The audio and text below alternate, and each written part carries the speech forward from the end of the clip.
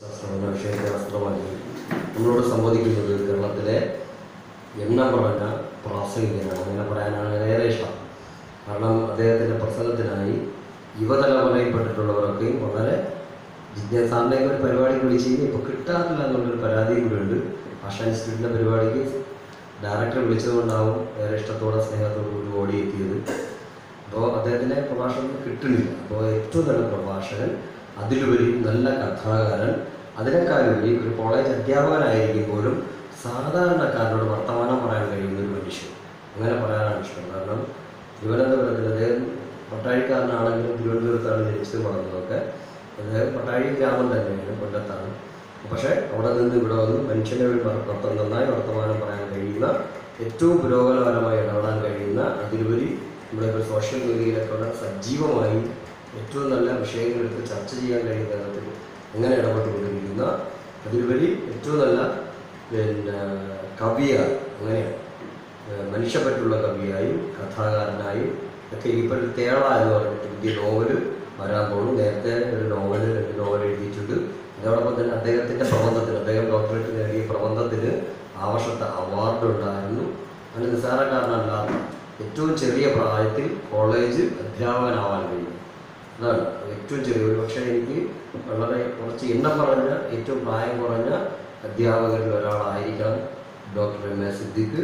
അദ്ദേഹം ഏറ്റവും മനോഹരമായി നമ്മളോട് സംബന്ധിക്കും ആ മഹാനുഭാവനെ ഏറ്റവും നല്ല ചർച്ച ചെയ്യപ്പെടുന്ന പുതിയ തലമുറയിലെ ഏറ്റവും കുശീലനായിട്ടുള്ള ഡോക്ടർ എം എ സിദ്ദിഖിനെ ഏറെ സ്നേഹത്തോടു കൂടി ഈ വിഷയം അവതരിപ്പിക്കുന്നതിലേക്കായി ചെയ്തു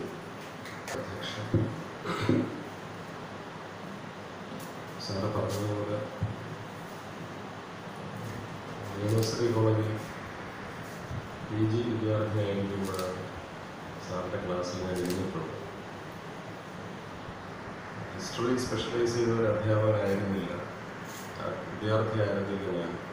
മലയാളം ആയിരുന്നു. പക്ഷെ ഞങ്ങളുടെ ചരിത്ര പഠന ക്ലാസ്സുകളിൽ ചില ക്ലാസ്സുകൾ കൈകാര്യം ചെയ്യുന്നതിന് കാർത്തികൻ സാറിനെയാണ് ക്ഷണിച്ചിരുന്നത്. ക്ഷണിക്കപ്പെട്ട അധ്യാപകനായി അങ്ങനെ സാറിന്റെ കുറേ ക്ലാസ്സുകളിൽ ഞങ്ങൾ ഇരുന്നിട്ടുണ്ട്. സാറിന്റെ രസകരമായ അവതരണവും ചരിത്രത്തെ നോക്കിക്കാണുന്ന രീതിശാസ്ത്രവുമെല്ലാം അന്നത്തെ ഞങ്ങളെ വലിയ രീതിയിൽ സ്വാധീനിച്ചിട്ടുള്ള ഒരു ഘടകമാണ്.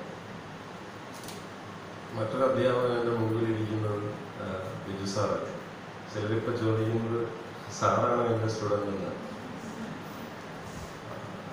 ചിലർ ചോദിച്ചു തുടങ്ങിയിട്ടുണ്ട് ദിലീപ് പറഞ്ഞതുപോലെ അത്ര ഒക്കെ ഉണ്ടോ എന്നുള്ള കാര്യത്തിൽ എനിക്ക് സംശയമില്ലാതില്ല ഭാഷാ ഇൻസ്റ്റിറ്റ്യൂട്ടുമായിട്ടുള്ള എന്റെ ബന്ധം ഞാൻ ഈ പറഞ്ഞ എം എ കാലം മുതലുള്ളതാണ്. എന്റെ ആദ്യത്തെ പഠന ലേഖനം പ്രസിദ്ധീകരിച്ച് വരുമ്പോൾ ഞാൻ സെക്കൻഡ് സെമ്മിൽ പഠിക്കുകയാണ്. അന്ന് ഞാൻ കരുതി കേരള ചരിത്രവും സ്ത്രീയും എന്നൊരു പഠന ലേഖനം എഴുതി ഞാൻ ഡിപ്പാർട്ട്മെന്റിൽ സ്ഥാനമായിരുന്നു കണ്ടില്ലേ? പഠിക്കുന്നെങ്കിൽ ഇയാളെപ്പോലെ പഠിക്കണം എഴുതുന്നെങ്കിൽ ഇയാളെപ്പോലെ എഴുതണം പക്ഷേ അങ്ങനെ ലേഖനങ്ങൾ എഴുതി തുടങ്ങിയത് മുതൽ എനിക്ക് നഷ്ടപ്പെട്ടതിന്റെ കഥകൾ കഥ എഴുതാനുള്ള ഭാഷ എനിക്ക് നഷ്ടപ്പെട്ടു. ദിലീപൊക്കെ പറയുമ്പോഴാണ് അത് തിരിച്ചു പിടിക്കേണ്ടതിന്റെ പ്രാധാന്യത്തെ പറ്റിയിട്ട് ഞാൻ മനസ്സിലാക്കുന്നു. എന്തായാലും അന്ന് മുതൽ എന്റെ ഗവേഷണ കേന്ദ്രം പോലെ വളരെ ബഹുമാനത്തോടുകൂടി കാണുന്ന ഈ സ്ഥാപനത്തിൽ ആദ്യമായിട്ടാണ് ഇവിടെ നിന്ന് ഞാൻ സംസാരിക്കുന്നത്. പലവട്ടം ഒരു സ്വന്തം വ്യക്തിയായും അന്യനെ പോലെയും ഈ ഹാളിലൂടെ ഞാൻ അങ്ങോട്ടും ഇങ്ങോട്ടും പോയിട്ടുണ്ട്. ഇവിടെ നിന്ന് ഇങ്ങനെ സംസാരിക്കേണ്ടി വരുമെന്ന് ഞാൻ വിചാരിച്ചിട്ടില്ല. വിശേഷിച്ചും പരിസ്ഥിതിയുടെ രാഷ്ട്രീയ സൗന്ദര്യശാസ്ത്രം എന്ന ഇത്തരത്തിലുള്ള ഒരു വിഷയത്തെ മുൻനിർത്തിയിട്ടുണ്ട് ഇതിനെ ഇപ്പോൾ എങ്ങനെ സംസാരിക്കണമെന്നുള്ളതാണ് ഞാൻ അനുഭവിക്കുന്ന വിഷമം. ഒരു പത്തോ ഇരുപതോ മിനിറ്റിൽ ഞാൻ പറയാനുള്ള കാര്യങ്ങൾ പറയുകയും വേണമെങ്കിൽ ഒരു അഞ്ച് മിനിറ്റ് കൂടി അതിനെ വികസിപ്പിക്കുകയും ചെയ്ത് എന്റെ അവതരണത്തെ ഞാൻ അവസാനിപ്പിക്കുക ഇത് കേൾക്കുമ്പോൾ തന്നെ നമ്മുടെ എല്ലാം ഉള്ളിൽ വരുന്നത് പരിസ്ഥിതി. മരങ്ങൾ മുറിക്കുന്നു. മത്സ്യങ്ങൾ മരിച്ചു പോകുന്നു. ഭൂമി വിഷലിപ്തമായി മാറുന്നു. കുടിവെള്ളം നഷ്ടപ്പെടുന്നു. ആളുകൾ ഇല്ലാതെയാകുന്നു. ഇത്തരത്തിലാണ് ഇക്കോളജി ഇക്കോസഫി പരിസ്ഥിതിയുടെ ഫിലോസഫി മുതലായ വാക്കുകളെ കുറിച്ചൊക്കെ നമ്മൾ മനസ്സിലാക്കിയിട്ടുള്ളത്. പക്ഷെ ഇങ്ങനെ മനസ്സിലാക്കുന്നതിൽ ഒരു പ്രധാനപ്പെട്ട പ്രശ്നം. ഇത് നമ്മളിൽ കടുത്ത ദുഃഖം നിറയ്ക്കുന്നതാണ്. നമ്മളിൽ വല്ലാത്ത നൈരാശ്യബോധം ഉണ്ടാകും ഫലങ്ങളെല്ലാം നഷ്ടപ്പെടുന്നു പിന്നെ നമ്മളെങ്ങനെ ഓക്സിജൻ ശ്വസിക്കും. അത് നമ്മുടെ ഇന്ത്യയിൽ ഡൽഹിയെ പറ്റിയിട്ട് അത്തരത്തിലുള്ള ഒരു ദുഃഖം പറ്റില്ല അടുത്ത ശ്വാസകോശ പ്രശ്നങ്ങൾ ഉണ്ടാക്കുന്ന സ്ഥലമാണ് ഡൽഹി. അവിടെ വാഹനങ്ങൾ നിരന്തരമായി പുകതുപ്പിക്കൊണ്ടിരിക്കുന്നു യമുന നദി. തീരസമീരെ യമുനാ തീരെ വസതി വനേവനമായി എന്ന് കേൾക്കുമ്പോൾ നമുക്ക് ഭഗവാൻ കണ്ണനെ കുറിച്ചൊക്കെ ആദരണീയമായ ഒരു സ്നേഹമാണ് ഉണ്ടാകുന്നതെങ്കിലും പ്രണയത്തിന്റെ ചില ജ്വാലകൾ നമ്മുടെ ഉള്ളിൽ രൂപപ്പെടുമെങ്കിലും യഥാർത്ഥ യമുനാനദി കാണുമ്പോൾ ഇതാണോ ഞാൻ ആഗ്രഹിച്ച യമുന? എന്നൊക്കെ തോന്നുന്ന തരത്തിൽ വലിയമസമായ ഒരു അന്തരീക്ഷം നമ്മളിൽ നടക്കുന്ന ദുഃഖത്തിന്റെയും വൈരാശ്യത്തിന്റെയും ഒരു ലോകമാണ്. അതുകൊണ്ട് തന്നെ പരിസ്ഥിതിയെ കുറിച്ചിട്ടുള്ള ചിന്തയിൽ നമ്മൾ ആദ്യം കുടഞ്ഞു കയറി കളയേണ്ടത് ഈ നൈരാശ്യമാണ്. ഈ നിരാശതാബോധം മതങ്ങളാണ് നമ്മുടെ ഉള്ളിൽ പ്രൊഡ്യൂസ് ചെയ്തിട്ടുള്ളത്. നാം ജീവിക്കുന്ന കാലത്തിന്റെ ഏറ്റവും വലിയ പ്രശ്നം ഏറ്റവും വലിയ പാരിസ്ഥിതിക ദുരന്തം മതമാണെന്ന് വിശ്വസിക്കുന്ന ആളാണ് അപ്പൊ പറയും ഞാൻ ഈശ്വരനെ നിഷേധിച്ചു. ഞാൻ ഈശ്വര വിരുദ്ധനാണ്. അങ്ങനെയൊന്നും ധരിക്കരുത്. ഈശ്വരനും മതവും രണ്ടാണെന്ന് ധരിക്കുന്ന ഒരു ഫിലോസഫിയാണ് ഞാൻ പിന്തുടരുന്നത് മതം അത് റിലീജിയൻ എന്നൊക്കെ നമ്മൾ പറയുന്ന ഒരു സാധനം ഒരു അസാമൂഹികമായ അപ്പൊളിറ്റിക്കലായ ഒട്ടും രാഷ്ട്രീയമില്ലാത്ത മനുഷ്യനെ ചൂഷണം ചെയ്യുന്നതിന് വേണ്ടി മാത്രം നിർമ്മിക്കപ്പെട്ടിട്ടുള്ള പൗരോഹിത്യത്തിന്റെ ഈ വ്യവസ്ഥ രൂപപ്പെട്ടിട്ട് ഏതാണ്ട് ഒരു ആറ് നൂറ്റാണ്ട് മാത്രമേ ആയിട്ടുള്ളൂ. പക്ഷേ ഈ ആറ് നൂറ്റാണ്ടിനൊക്കെ എത്രയോ മുൻപാണ് നാം അറിയുന്ന ദർശനം ദൈവവിശ്വാസം വിമോചനം കാരുണ്യം ബുദ്ധൻ ഭഗവാൻ കണ്ണൻ മുഹമ്മദ് യേശു എന്നൊക്കെ പറയുന്നത് രൂപപ്പെട്ടിട്ടുള്ളതിനെ കുറിച്ചിട്ടുള്ള ആലോചനകൾ ഈ ആറ് നൂറ്റാണ്ടിന് മുൻപ് തന്നെ ഭൂമിയിലുണ്ടായിട്ടുണ്ട്. ഇത്തരത്തിലുള്ള നിരാശാബോധം ഉണ്ടാക്കിയാലല്ലാതെ മതത്തിന് നാം ജീവിക്കുന്ന കാലത്ത് നിൽക്കാൻ പറ്റില്ല. അതുകൊണ്ടാണ് സ്ട്രെസ് മാനേജ്മെന്റ് നടത്തുന്ന ഏറ്റവും വലിയ സ്ഥാപനങ്ങൾ മതസ്ഥാപനങ്ങളാണ്. നിങ്ങൾക്ക് ദുഃഖമുണ്ട്? ആ ദുഃഖത്തെ ഞങ്ങൾ അവസാനിപ്പിച്ചു തരാം. നിങ്ങൾക്ക് വിഷമമുണ്ട് ആ വിഷമത്തെ ഞങ്ങൾ അവസാനിപ്പിച്ചു തരാം. ദുഃഖത്തെയും വിഷമത്തെയും ജീവിതത്തിന്റെ അടിസ്ഥാന പ്രശ്നങ്ങളായി കാണരുത് എന്നാണ് ദർശനങ്ങൾ പഠിപ്പിക്കുന്നത്. സമാനമായ ഒരു പ്രശ്നം പരിസ്ഥിതി ചിന്തയെ കുറിച്ചിട്ടുള്ള ആകുലതയുണ്ട് നമ്മളിലത് ദുഃഖം നിറയും. വല്ലാത്ത അസ്വസ്ഥത നിറയും. ഞാൻ വളരെ പെട്ടെന്ന് മരിക്കാൻ പോവുകയാണ്. ഓക്സിജൻ ഇല്ലാതാകാൻ പോവുകയാണ്. ജലസ്രോതസ്സുകൾ ഇല്ലാതാവാൻ പോവുകയാണ്. ഈ പെസിമിസം ഉണ്ടല്ലോ ഈ ഇത്തരം ഒരു നിഹിലിസ്റ്റിക് ശൂന്യവാദാത്മകമായിട്ടുള്ള എന്തിനോടും വിരോധം വെച്ച് പുലർത്തുന്ന ഭാവത്തിൽ നിന്ന് പരിസ്ഥിതി ചിന്തയെ മോചിപ്പിക്കേണ്ട കാലം എന്നേ കഴിഞ്ഞിരിക്കുന്നു എന്ന് ലോകത്തോട് ആദ്യമായി വിളിച്ചു പറഞ്ഞത് ആയിരത്തി തൊള്ളായിരത്തി എഴുപത്തി മൂന്നിൽ തിമോത്തി മോർട്ടൻ എന്ന എഴുത്തുകാരിയാണ്. അവരുടെ പ്രസിദ്ധമായ പുസ്തകം ഇതിന്റെ പുതിയ പതിപ്പ് ഇതിനോടകം പുറത്തു വന്നിട്ടുണ്ട്. കുറേ കൂടി പരിഷ്കരിച്ച പുതിയ പതിപ്പ്. ബീയിങ് ഇക്കോളജിക്കൽ നമ്മൾ പാരിസ്ഥിതികമായിരിക്കുക എന്ന തന്റെ പുസ്തകത്തിൽ തിമോത്തി മോർട്ടൻ പറയുന്ന പ്രധാനപ്പെട്ട ഒരു കാര്യം. പരിസ്ഥിതി വിജ്ഞാന കൃതികൾ എന്ന പേരിൽ നിങ്ങൾ കൈകളിൽ എടുക്കുന്ന ഏത് പുസ്തകവും കാലഹരണപ്പെട്ട കുറേയധികം വിവരണങ്ങൾ കുത്തി നിറച്ച് നമ്മുടെ മനസ്സിനെ അസ്വസ്ഥപ്പെടുത്തുന്ന ചവറു കൂമ്പാരങ്ങളാണ് എന്ന് എനിക്കറിയാം. അസ്വസ്ഥജനകമായ വിവരണങ്ങൾ കൊണ്ട് നിറഞ്ഞ നിങ്ങൾ മരിക്കാൻ പോവുകയാണ് ഭൂമി അവസാനിക്കാൻ പോവുകയാണ് ഭൂമി ഇത് അവസാനിച്ചിരിക്കുന്നു ഓക്സിജൻ ഇല്ലാതാവുന്നു. ഇമാതിരിയുള്ള അസ്വസ്ഥജനകമായ വിവരണങ്ങൾ കൊണ്ട് അവ നിങ്ങളെ വിറങ്ങലിപ്പിച്ചേക്കാം. ഇത് കുതിരലാടത്തിന്റെ ആകൃതിയിലുള്ള ഒരു ബോക്സിംഗ് കയ്യുറ ഒരാളെ ധരിപ്പിക്കുന്നത് പോലെയാണ് ഞാനത് പറയുന്നത് എന്റെ ഈ പുസ്തകം ബീങ് ഇക്കോളജിക്കൽ എന്ന എന്റെ ഈ പുസ്തകം അത്തരത്തിൽ നിങ്ങളിൽ നിരാശയുണ്ടാക്കാൻ വേണ്ടിയിട്ട് എഴുതപ്പെട്ട ഒരു പുസ്തകമല്ല. തിമോത്തി മോട്ടൻ പറഞ്ഞ ഈ വാചകത്തിന്റെ പ്രസക്തി ഞാൻ സംസാരിക്കുന്ന വിഷയവുമായി ബന്ധപ്പെട്ടതാണ്. ഇങ്ങനെ വിഷമം നിറയ്ക്കുന്ന പരിസ്ഥിതിവാദത്തെ നമ്മൾ റൊമാന്റിക് ഇക്കോളജി എന്ന് പറയും. അയ്യോ ഇന്നലത്തെ ഭൂമിയെല്ലാം നഷ്ടപ്പെട്ടിരിക്കുന്നു. പണ്ട് എന്റെ കുട്ടിക്കാലത്ത് എന്തുമാത്രം പൂക്കളുണ്ടായിരുന്നു? എന്റെ കുട്ടിക്കാലത്ത് എന്തെല്ലാം വയമേലകളുണ്ടായിരുന്നു എന്റെ കുട്ടിക്കാലത്ത് എന്തുമാത്രം കുന്നുകളുണ്ടായിരുന്നു? ഇവിടെ നിന്ന് ഇത്രയും വീടുകൾ ഉണ്ടായിരുന്നില്ല എത്ര മനോഹരമായിരുന്നു കളപൂജനങ്ങൾ എന്നൊക്കെ റൊമാന്റിക് കവിതകളുണ്ട്. ഇപ്പൊ നമ്മൾ വേഴ്സ്വർത്തിനെ കുറിച്ചൊക്കെ പറയുന്നത് ഇപ്പോൾ ഇപ്പൊ ഡാഫോഡിൽസ് എന്ന പ്രസിദ്ധമായ കവിത തന്നെ പരിസ്ഥിതി ശാസ്ത്രപരമായി വായിക്കാൻ പറ്റുന്നുണ്ട് ഷേക്സ്പിയറിന്റെ നോവലുകൾ തന്നെ പാരിസ്ഥിതികമായി വായിക്കുന്ന അനേകം പുസ്തകങ്ങൾ പുറത്തു വന്നിട്ടുണ്ട്. കീറ്റ്സിന്റെ ഓടുകൾ അത്തരത്തിൽ വായിക്കപ്പെട്ടിട്ടുണ്ട്. മലയാളത്തിൽ തന്നെ കുഞ്ഞിരാമൻ നായരുടെ കുറ്റിപ്പുറം പാലത്തിന് മുമ്പുള്ള കവിതകൾ കുമാരനാശാന്റെ തന്നെ പുഷ്പവാടി പോലുള്ള കൃതികൾ കുഞ്ചൻ നമ്പ്യാരുടെ ചില കൃതികളുടെ പരിസ്ഥിതി ധ്വനികൾ വി സി ബാലകൃഷ്ണ പണിക്കരുടെ കൃതിയിലെ ധ്വനികൾ മുലൂരിന്റെ ചില ഒറ്റ ശ്ലോകങ്ങളിലെ പാരിസ്ഥിതികത. മുതലായവയെല്ലാം പ്രതിനിധാനം ചെയ്യുന്നത് റൊമാന്റിക് ഇക്കോളജി ഒരു കാൽപ്പനിക പരിസ്ഥിതിവാദം എന്ന് പറയുന്ന ഭാവനയാണ്. കാൽപ്പനിക പരിസ്ഥിതിവാദത്തിന്റെ ഏറ്റവും പ്രധാനപ്പെട്ട കുഴപ്പം അത് നമ്മളിൽ മരണത്തെ കുറിച്ചിട്ടുള്ള മെറ്റഫറുകൾ നിറയ്ക്കും എന്നതാണ്. നാം ജീവിക്കുന്ന കാലത്ത് മരണം നമ്മുടെ ഏറ്റവും വലിയ ഭീതിയായി നിറഞ്ഞിരിക്കുന്നതാണ് ഈഗിൾട്ടൺ പറയുന്നത് മരണം ഭീതിയല്ല അത് ജീവിതത്തിന്റെ വലിയ പരിമിതിയാണ് എന്നാണ്. അതുകൊണ്ട് തന്നെ റൊമാന്റിക് ആയി കാൽപ്പനികമായി പരിസ്ഥിതിയെ നിരീക്ഷിച്ചിട്ടുള്ള കവികളൊക്കെയും അവരുടെ കവിതകളിൽ മരണത്തെ നീതിയുടെ രൂപത്തിൽ കുത്തി നിറയ്ക്കാൻ ശ്രമിച്ചിട്ടുണ്ട്. മലയാളത്തിൽ അങ്ങനെ വായിക്കാൻ കഴിയുന്ന ഒരു കവിതയാണ് കക്കാടിന്റെ വജ്രകുണ്ഡലം വജ്രകുണ്ഡലത്തിലെ നാല് വരി എങ്ങും ഒരു നാദമില്ല എങ്ങും ഒരു ചലനമില്ല വിങ്ങും ഒരു ഘനമൂക ജാഠ്യം മൃത്യുവിൻ ഘനമൂക എന്നാണ്. എവിടെയും ചലനമില്ല. എവിടെയും നാദമില്ല. എവിടെയും മരണം നിറഞ്ഞിരിക്കുന്നു. എവിടെയും ഘനമൂകമായ ചലനമില്ലായ്മ നിറഞ്ഞിരിക്കുന്നു. എന്ന് പറയുന്നതോടുകൂടി എല്ലാ പ്രതീക്ഷകളും അവസാനിച്ചിരിക്കുന്നു എന്നൊരു തെളിവ് കൂടി അതിലുണ്ട് ഈ അടുത്ത കാലം വരെ ഒ എൻ വി കുറിപ്പിന് അങ്ങനെയാണ് നമ്മുടെ നിരൂപകൾ വായിച്ചിരുന്നത്. ഒ എൻ വി ഭൂമിക്ക് ഒരു ചെലവീതം ഇനി ഒന്നുമില്ല. എല്ലാം അവസാനിച്ചിരിക്കുന്നു. സ്വാതന്ത്ര്യം നഷ്ടപ്പെട്ടിരിക്കുന്നു. പ്രതീക്ഷകൾ നഷ്ടപ്പെട്ടിരിക്കുന്നു. സത്യത്തിൽ ഇതൊരു മുതലാളിത്തത്തിന്റെ വല്ലാത്ത ഫിലോസഫിയാണ് എൻഡ് ഓഫ് ഐഡിയോളജി എന്ന് പറയുന്നത്. ഇനി നിങ്ങൾക്ക് പ്രതീക്ഷിക്കാൻ അർഹതയില്ല. ഇനി നിങ്ങൾ ജീവിച്ചിരുന്നിട്ട് കാര്യമില്ല.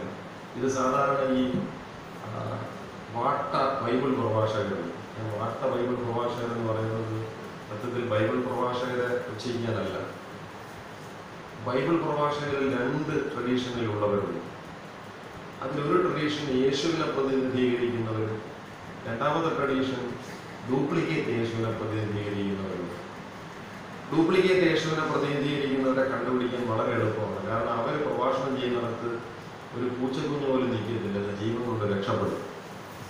അവരും അവരുടെ മൈക്രോഫോണും മാത്രം കാണും. അപ്പൊ പറയും സാർ ചില പ്രഭാഷകരെ കണ്ടിട്ടില്ല.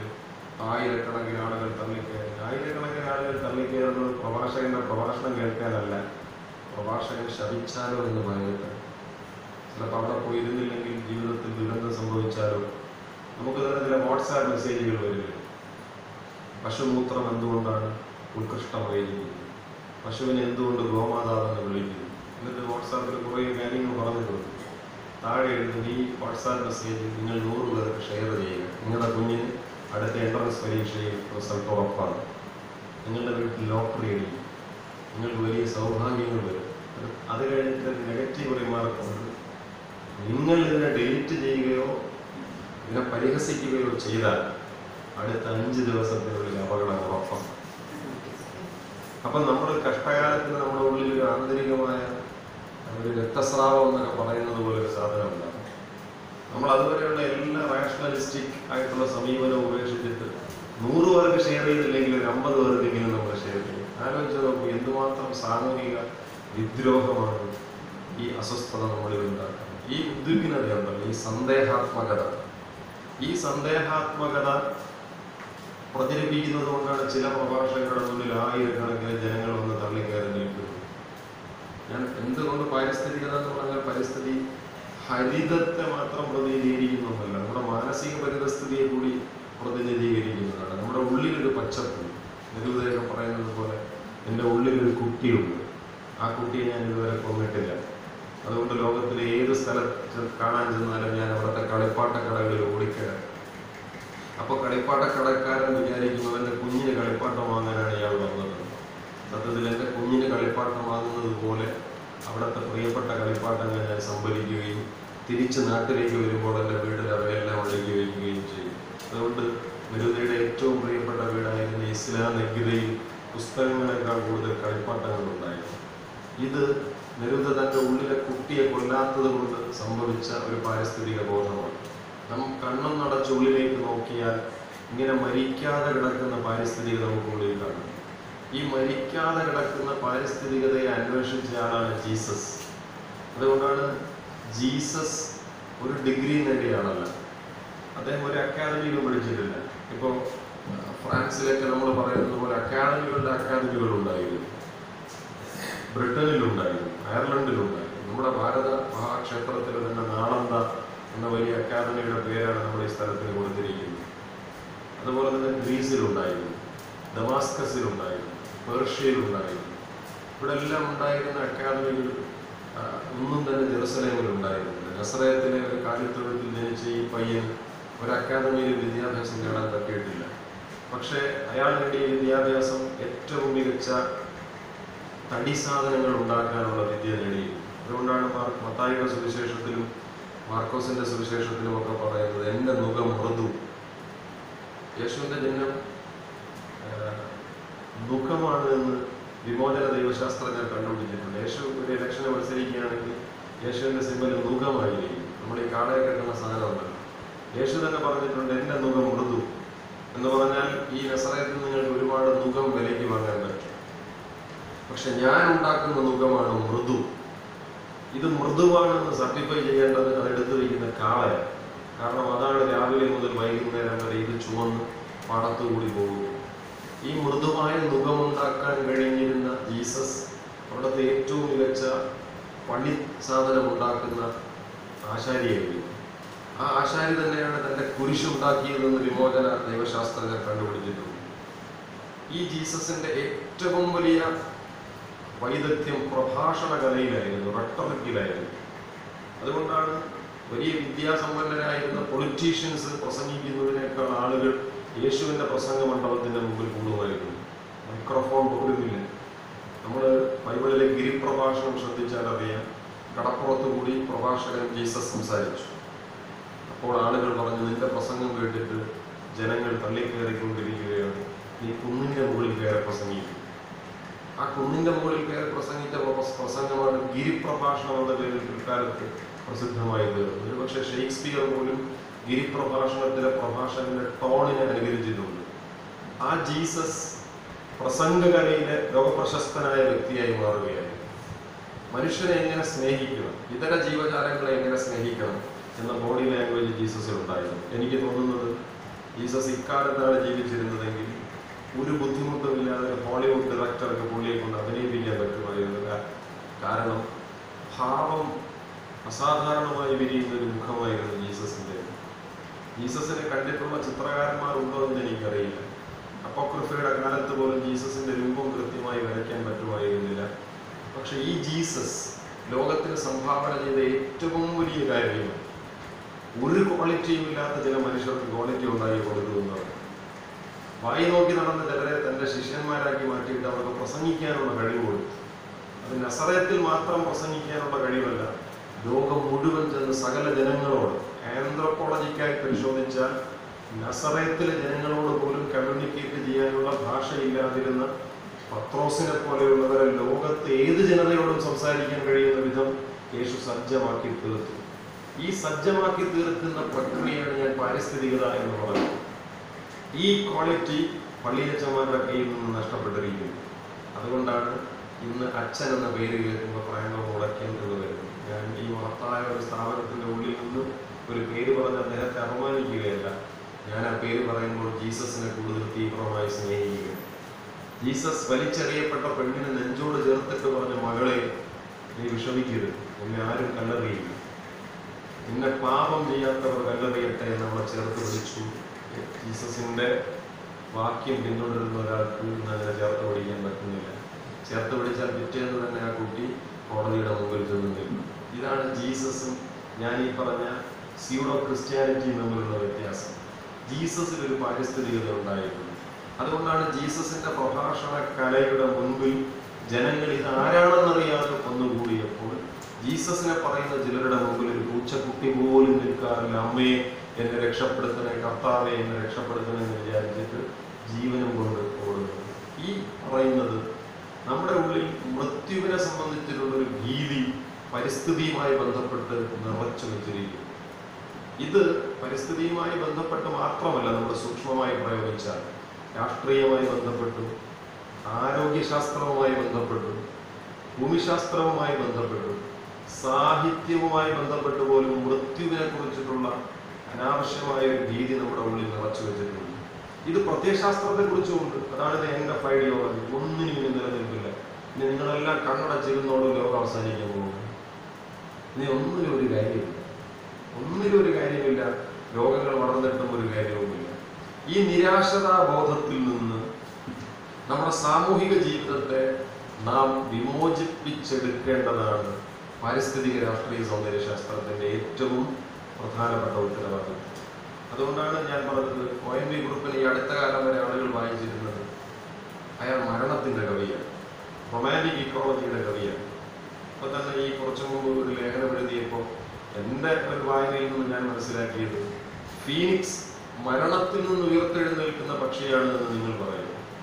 പക്ഷെ ഈ മരണം എന്നത് അന്ത്യം എന്ന അർത്ഥത്തിൽ മരണമല്ല. മരണത്തിന്റെ ഉള്ളിൽ പോലും ഡി എൻ എ മരണത്തിന്റെ ഉള്ളിൽ പോലും ഡി എൻ എ മരിച്ചു കഴിഞ്ഞാൽ ആയിരക്കണക്കിന് വർഷം കഴിയുമ്പോൾ ആ മരണ ജീവിതത്തിൽ നിന്നൊരു ജീവിതത്തെ ഉണ്ടാക്കിയെടുക്കാൻ കഴിയുമെന്ന് ശാസ്ത്രം ഇപ്പോൾ തെളിയിച്ചുകൊണ്ടിരിക്കുക ഞാൻ നീട്ടിപ്പോകുന്നില്ല ഫ്രാൻസ് കാഫ്കയുടെ മെറ്റമോർഫോസിസ് ഈ ലൈബ്രറിയിലുണ്ട് നമ്മളെല്ലാം വായിച്ചു.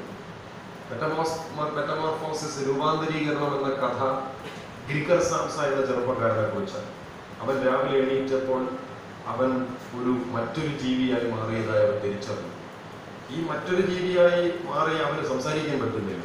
അവൻ അനങ്ങാൻ പറ്റുന്നില്ല. അവൻ മുറി അടച്ചിട്ടിരിക്കുകയാണ്. പുറത്ത് അവന്റെ പെങ്ങൾ വിളിക്കുന്നു ഗ്രിഗർ എണീക്കൂ. എട്ട് മണിയായി. നിനക്ക് ഓഫീസിൽ പോകണ്ടേ ഗ്രിഗറിന് പറയണമെന്നുണ്ട്. പെങ്ങളെ എനിക്ക് അനങ്ങാൻ പറ്റുന്നില്ല. പക്ഷെ ഗ്രിഗറിന്റെ മാ മിണ്ടുന്നില്ല. അമ്മ പുറകിൽ നിന്ന് വിളിക്കുന്നു ഗ്രിഗർ എന്തൊരു ഉറക്കമാണ്? എട്ട് മണിക്ക് പോണ്ടേ?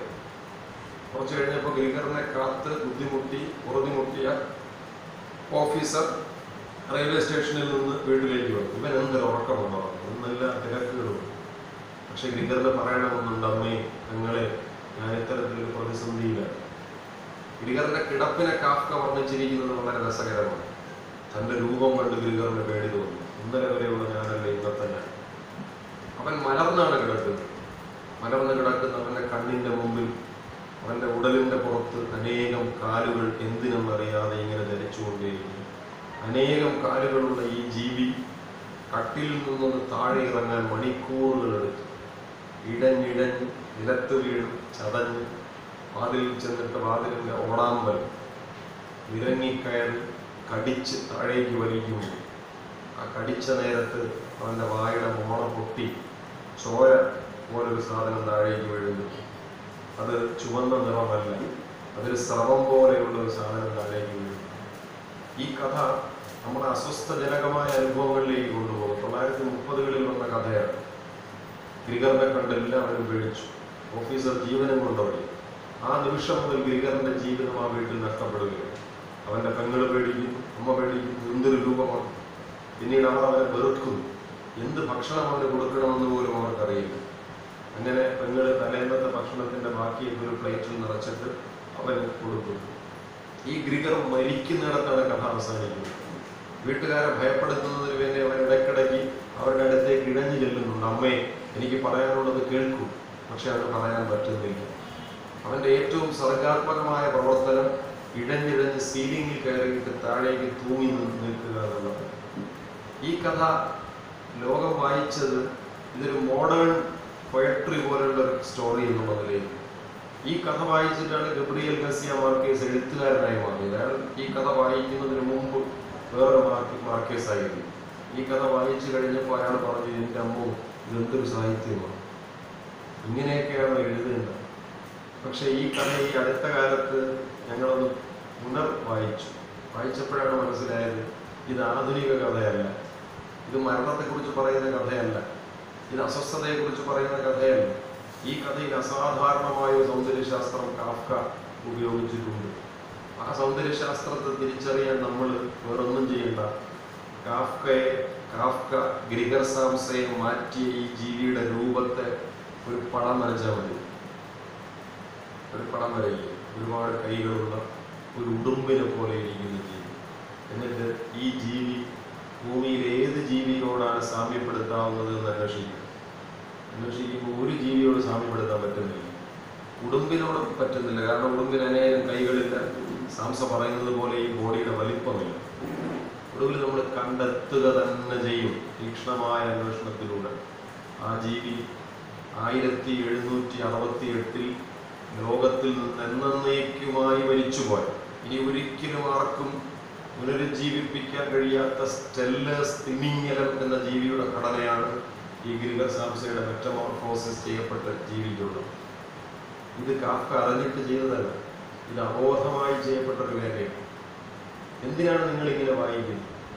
അപ്പൊ എക്സ്റ്റിങ്ക്ട് ചെയ്യപ്പെട്ട പൂർണമായി മരിച്ചുപോയ ഒരു ജീവിയെ കഥയിലൂടെ പുറത്തു കൊണ്ടുവരുന്ന എഴുത്തുകാരന്റെ ഈ കെമിസ്ട്രി ഒരു മോഡേൺ ഫിലോസഫി അല്ല. അത് ഏറ്റവും പുതിയ ശാസ്ത്ര സിദ്ധാന്തമാണ്. ആ പ്രക്രിയ നമ്മൾ പറയുന്നത് ഡി എക്സ്റ്റിങ്ഷൻ എന്നാണ്. മരിച്ചുപോയ ഒന്നിനെ വംശനാശം വന്നതിനെ തിരിച്ചു കൊണ്ടുവരിക.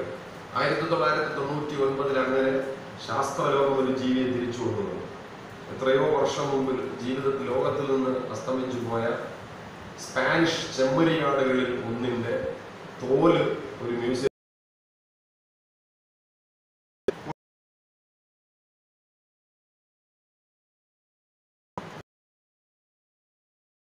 ഒരു നാട്ടാടിന്റെ ഗർഭത്തിൽ അതിനെ വിക്ഷേപിച്ച് അസാധാരണമായ രൂപത്തിൽ അതിനെ സംരക്ഷിച്ച് ആ ആടിനെ പരിഹരിച്ച് ആ ആടിനെ പ്രസവം ധരിപ്പിച്ച് പ്രസവിപ്പിച്ച് സ്പാനിഷ് ചെമ്മരിയാടിനെ ശാസ്ത്രലോകം തിരിച്ചു കൊണ്ടുവന്നു.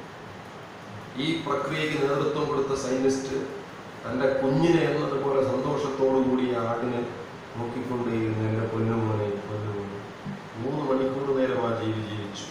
തന്റെ ഭൂമിയിലേക്ക് തിരിച്ചു കൊണ്ടുവന്ന ആ പിതാവിന്റെ കണ്ണിലേക്ക് നോക്കി ആ ജീവി മൂന്ന് മണിക്കൂർ കഴിഞ്ഞപ്പോൾ മരിച്ചു. പക്ഷേ ശാസ്ത്രം വലിയ പ്രതീക്ഷയില്ല. അവസാനിച്ചു എന്ന് കരുതുന്ന യാഥാർത്ഥ്യങ്ങളെ പോലും പുനഃസൃഷ്ടിക്കാൻ കഴിയുന്ന തരത്തിൽ സൈദ്ധാന്തികമായി നാം മുന്നോട്ട് പോയിക്കൊണ്ടിരിക്കുമ്പോൾ ഇത് സാഹിത്യത്തിൽ സാധ്യമാണ് എന്ന് കാഫ്ക എത്രയോ നാളുകൾക്ക് മുമ്പ് തെളിയിച്ചിട്ടുണ്ട്. ഇത്തരത്തിലുള്ള ഒരു പ്രക്രിയയുണ്ടല്ലോ. ഈ പ്രക്രിയയാണ് ഞാൻ പറഞ്ഞത് മൃതിയിൽ നിന്ന് പോലും നമുക്ക് ജീവിതത്തെ സൃഷ്ടിച്ചെടുക്കാൻ പറ്റും. നാം മരിച്ച് കോടിക്കണക്കിന് വർഷങ്ങൾ കഴിഞ്ഞാലും നമ്മുടെ ജീൻ ചരിത്രത്തിന്റെ ഒരു രേഖ പോലെ ഭൂമിയിൽ സൂക്ഷിക്കപ്പെട്ടേക്കാം. അങ്ങനെയാണെങ്കിൽ ഫീനിക്സ് ചിതയിൽ നിന്ന് എണീക്കുന്നത് എന്ന് നമ്മൾ പറയുന്നുണ്ട്. ചിത അവസാനിച്ച ഒരു ഒരു ഫുൾ സ്റ്റോപ്പ് ആണെന്നല്ല കാണേണ്ടത്. ചിതയും ഒരു ജീവിതമാണ് എന്നാണ് കാണേണ്ടത്. ഈ മാറിയ ബോധത്തെ ഇന്ത്യൻ സാമൂഹിക ജീവിതത്തിലേക്ക് കൊണ്ടുവരാൻ ശ്രമിച്ചവരിൽ ഏറ്റവും പ്രധാനപ്പെട്ട ഒരാളാണ് മഹാത്മാഗാന്ധി ഗാന്ധിയെ കൊല്ലാനൊന്നും ആർക്കും പറ്റൂല. ഇവിടെ ചിലർ വിചാരിക്കുന്നുണ്ട് ഒരു ഫോട്ടോ എടുത്ത് ഇങ്ങനെ വെച്ചിട്ട് രണ്ട് വെടി വെച്ച് അപ്പ ഗാന്ധി മരിക്കും. ഗോഡ്സെ വെച്ചിട്ട് മരിച്ചില്ല. അത് മഹാബലിയെ കുറിച്ച് നമ്മൾ പറയാറുണ്ട്. മഹാബലിയുടെ ഓണം അല്ല ഓണം വാമനന്റേതാണെന്ന് പറയാറുണ്ട് അപ്പൊ ഞങ്ങളൊക്കെ തിരിച്ചു പറഞ്ഞത് സാക്ഷാൽ വാമനം വന്ന് ചവിട്ടി താഴ്ത്തിയിട്ട് മഹാബലി മരിച്ചിട്ടില്ല. പിന്നെയാണ് ഇവിടെ ചിലർ വന്നിട്ട് മഹാബലിയെ വീണ്ടും കൊല്ലാൻ ശ്രമിക്കുന്നത്. ഗാന്ധിയെ വെടിവെച്ച് കൊല്ലാൻ ശ്രമിക്കുന്നു. ഒരു സാമ്രാജ്യം മുഴുവൻ വെടിവെച്ചാലും മരിക്കാത്ത ഗാന്ധിയാണ് സാക്ഷാൽ ഗാന്ധി. ആ ഗാന്ധിയിൽ അസാധാരണമായ പാരിസ്ഥിതിക മൂല്യമുണ്ട് ആയിരത്തി തൊള്ളായിരത്തി ഒൻപതിൽ ആണ് ഗാന്ധി തന്റെ ആദ്യ പുസ്തകം എഴുതുന്നത്. ദ ഹിന്ദ് സ്വരാജ്. ആ ഹിന്ദ് സ്വരാജിൽ സംശയം ചോദിക്കുന്ന ഒരാൾ ദ റീഡർ. ആൻസർ പറയുന്ന ഒരു പൊളിറ്റീഷ്യൻ ഒരു ഒരു ഒരു നയതന്ത്രജ്ഞൻ. ഇങ്ങനെയാണ് അതിന്റെ ഡിസ്കോഴ്സ് വികസിക്കുന്നത്. ഈ സംശയം ചോദിക്കുന്നയാൾ വീര സവർക്കറാണ് എന്നാണ് ചരിത്രം പറയുന്നത്. അക്കാലത്ത് ഇവർ രണ്ടുപേരും ഇംഗ്ലണ്ടിലുണ്ടായിരുന്നു. ഗാന്ധിയോട് ചോദിക്കുന്ന ഒരു ചോദ്യം കൊളോണിയലിസം കഴിയുമ്പോൾ ഈ ഇന്ത്യ എങ്ങനെ നിവർന്നു നിൽക്കണം? ഇന്ത്യയ്ക്ക് എങ്ങനെ സ്വരാജ്യം ഉണ്ടാകണം? ഇന്ത്യയ്ക്ക് എങ്ങനെ സ്വ സ്വയംഭരണ ശക്തി ഉണ്ടാകണമെന്നാണ് അങ്ങ് വിഭാവന ചെയ്യുന്നത്. ഗാന്ധി പറഞ്ഞത് കൊളോണിയലിസത്തിന്റെ രൂപമാതൃകയിൽ നിങ്ങൾക്ക് ഇന്ത്യയുടെ സ്വയംഭരണത്തിൽ നിർവഹിക്കാൻ പറ്റില്ല. രാജാവോ ഭരണാധിപന്മാരോ വലിയ വക്കീലന്മാരോ ഡോക്ടർമാരോ മുതലാളിമാരോ ഭരിക്കുന്ന ഇന്ത്യയല്ല. മറിച്ച് ഇന്ത്യൻ സാമൂഹിക ജീവിതത്തിന്റെ അടിത്തറ കർഷകരിലാണ് കിടക്കുന്നത് ആ കർഷകരിലേക്ക് നാം ഭരണത്തെ എത്തിക്കണം എന്ന് പറയുന്ന ഈ പോളിസി അസാധാരണമാവിധം പാരിസ്ഥിതികമാണ്. ആ ഹിന്ദു സ്വരാജ് ഉൾപ്പെടെ ഗാന്ധി പറയുന്ന ഏറ്റവും പ്രധാനപ്പെട്ട കാര്യം ഈ നഗരങ്ങളൊക്കെ നാം വളർത്തിയെടുത്തിരിക്കും എവിടെ നിന്നും? ഗ്രാമത്തിന്റെ ചോരയിൽ നിന്ന്. ഗാന്ധിയുടെ ഈ ഫിലോസഫിയെ ഇന്ത്യയിലെ ഒരു നഗരത്തെക്കുറിച്ച് പഠിക്കാൻ പരിസ്ഥിതി പണ്ഡിതന്മാർ ഉപയോഗിച്ചിട്ടുണ്ട്. അതെനിക്ക് തോന്നുന്നത് ഡൽഹിയുടെ അടുത്തുള്ള ആ ഗ്രാമമുണ്ടല്ലോ. ടെക്നോ ഗ്രാം അതൊരു ചെറു ചെറു ചെറിയ ഗ്രാമമായിരുന്നു. ആ ഗ്രാമം ഇന്ന് ലോകത്തിലെ തന്നെ ഏറ്റവും വലിയ ടെക്നോ ഹബ്ബായി മാറിയിരിക്കുന്നു. ഇതൊരു ഗ്രാമത്തിന്റെ ചോരയിൽ നിന്ന് വന്നതാണ്. അപ്പോൾ ആ ഗ്രാമീണർ ഇപ്പോൾ എവിടെയാണ് ജീവിക്കുന്നത്? അവർ വലിയ കമ്പനികളുടെ തോട്ടിപ്പണികൾ എടുത്തുകൊണ്ടിരിക്കുന്നു ഈ കമ്പനികൾ ഉയർന്നു നിൽക്കുന്നത് ചോരയിൽ നിന്നാണ് ഈ അടുത്ത കാലത്ത് തന്നെ നമ്മൾ ഈ ചാക്ക ബൈപ്പാസിലൂടെ ഇങ്ങോട്ട് വരുമ്പോൾ ഇങ്ങനെ വരുമല്ലോ. വരുമ്പോൾ അവിടെ റോഡിനെ കീറി മുറിച്ച് പാറയെ തുരന്നിട്ട് ഇപ്പോൾ റോഡ് കുറച്ച് വീതി കൂടിയിട്ടുണ്ട്. ഒരു ജലശാസ്ത്രജ്ഞൻ പരിതപിച്ചിരുന്നു നിങ്ങൾ അതിനെ പൊളിക്കരുത്. ആ പാറയെ പൊളിക്കരുത്. കാരണം ആ പാറ ആ പ്രദേശത്തിന് ജലം കൊടുക്കുന്ന വലിയ സ്രോതസ്സാണ്. അത് മുറിച്ച് മുറിച്ച് വന്നപ്പോൾ നമ്മൾ കണ്ടു. ഈ പാറയുടെ അകത്ത് ഒരുപാട് ഞരമ്പുകൾ. പാറ ജലത്തെ ഭൂമിയുടെ അടിയിലേക്ക് കൊണ്ടുപോകുന്ന സൂചി മുനകൾ പോലെ ഒരു മഷിപ്പേനയിൽ മഷി നിറയ്ക്കുന്നത്ര വൈദഗ്ധ്യത്തോടുകൂടി പാറയിൽ ആ ശില്പവിദ്യ നമ്മൾ കാണുകയുണ്ടായി. ഒരുപക്ഷെ ഇതിന്റെ വേദന അനേകം തലമുറകൾ കഴിഞ്ഞായിരിക്കാം ഒരുപക്ഷെ മനുഷ്യർ പുനർവായിക്കാൻ പോകുന്നത്. ഗാന്ധി ഫിലോസഫി പറഞ്ഞിട്ടുണ്ട് നഗരങ്ങളുടെ ഉള്ളിൽ ഒഴുകുന്ന ചോര ഗ്രാമങ്ങളുടെ ചോരയാണ്. ഗാന്ധി അനേകം പ്രബന്ധങ്ങളിലൂടെ ഈ ഫിലോസഫി പങ്കുവച്ചിട്ടുണ്ട്. അതുകൊണ്ടാണ് തൊള്ളായിരത്തി അറുപതിൽ ഗാന്ധി ഒരിക്കൽ പോലും കണ്ടിട്ടില്ലാത്ത ഒരു നോർവീജിയൻ സയന്റിസ്റ്റ് നോർവീജിയൻ ഒരു മലകയറ്റക്കാരൻ ആരൻ നെയ്സ്. അദ്ദേഹത്തിന്റെ യൂണിവേഴ്സിറ്റി തീസിന് വേണ്ടി ഗാന്ധിയുടെ ലേഖനങ്ങൾ പഠിക്കാനെടുത്തു. ഗാന്ധിയുടെ ലേഖനങ്ങൾ പഠിക്കാനെടുത്തിട്ടാണ് ആരൻ നെയ്സ് ലോകത്തെ ഇപ്പോൾ നയിച്ചുകൊണ്ടിരിക്കുന്ന ഒരു പ്രസ്ഥാന പ്രധാനപ്പെട്ട രാഷ്ട്രീയ പ്രസ്ഥാനമായ ഡീപ് ഇക്കോളജി സൃഷ്ടിച്ചെടുക്കുന്നത് ഇതാണ് ഞാൻ പറഞ്ഞത്. ഗാന്ധിയെ കൊല്ലാൻ പറ്റില്ല. ഈ പ്രജ്ഞാ സിംഗ് എന്നൊക്കെ പറയുന്ന ഐറ്റംസ് ഉണ്ടല്ലോ. ഗോഡ്സയുടെ സ്കൂളിൽ പഠിച്ചിറങ്ങിയ ചില സാധനങ്ങൾ. അവർ എവിടെന്നെങ്കിലും ഒരു ദീപാവലിയുടെ പടക്കം പൊട്ടിക്കുന്ന തോക്കെടുത്തിട്ട് പ്രതീകാത്മകമായി വെടിവെച്ചാലൊന്നും ചെയ്യുന്ന സാധനമല്ല ഗാന്ധി. ഗാന്ധി അനേകം അർത്ഥങ്ങളിലൂടെ പല തലങ്ങളിലേക്ക് പഠിക്കപ്പെട്ടുകൊണ്ടിരിക്കുന്ന ഒരു കാലത്ത് തൊള്ളായിരത്തി ഒമ്പതിലെ ഗാന്ധിയുടെ ആദ്യത്തെ പുസ്തകം ഹിന്ദു സ്വരാജ് മുതൽ ഇങ്ങോട്ടുള്ള അദ്ദേഹത്തിന്റെ ലേഖനങ്ങൾക്ക് പാരിസ്ഥിതിക പ്രധാനമായ അർത്ഥമുണ്ട്. ഒരുപക്ഷെ നാം ഗാന്ധി അത്തരത്തിൽ പറയുമ്പോൾ കേരളത്തിൽ ആരാണ് ഇതിന് തുടക്കം കുറിച്ചത്?